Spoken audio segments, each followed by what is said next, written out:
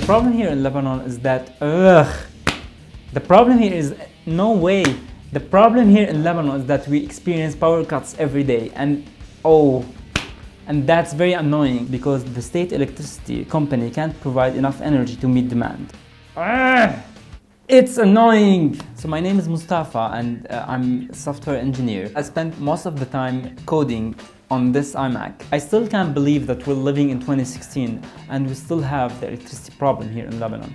I mean, Electricity for me, I see it as a basic human right. Some people have their own solution, which is technically illegal, but they have their own power generators that provide electricity for them. However, I don't have it because it's really expensive. So basically here in Lebanon, uh, in Beirut, the electricity cuts at certain time intervals every day. So one day I saw on my dad's fridge uh, a paper, which is basically a tracker that provides the electricity cut off time every day.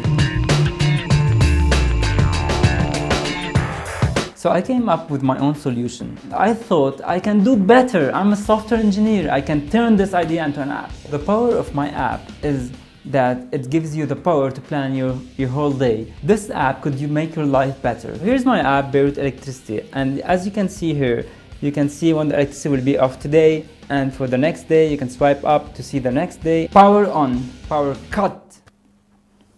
Having an app that tells you when the electricity will be off can help you plan your life. My message to the country is fix it. I really don't care about the app. I want the electricity to be fixed.